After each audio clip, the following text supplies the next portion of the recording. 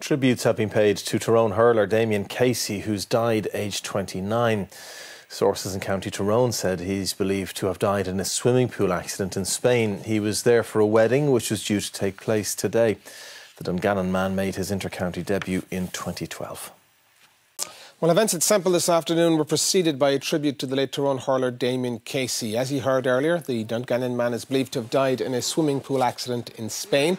Widely regarded as Tyrone's greatest ever hurler, he made his inter-county debut in 2012 and claimed the second Nicky Rackard Cup with the Red Hands at Croke Park in May.